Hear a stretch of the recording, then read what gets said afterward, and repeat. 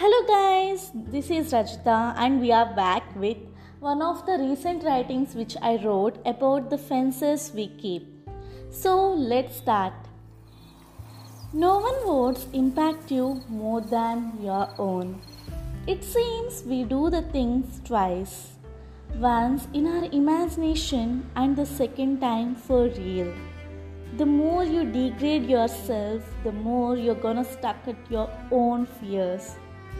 Yeah, I agree that the negative thoughts will always run through our mind, but there will be a little voice in our head that says, Go for it, and listen to it, at least for once.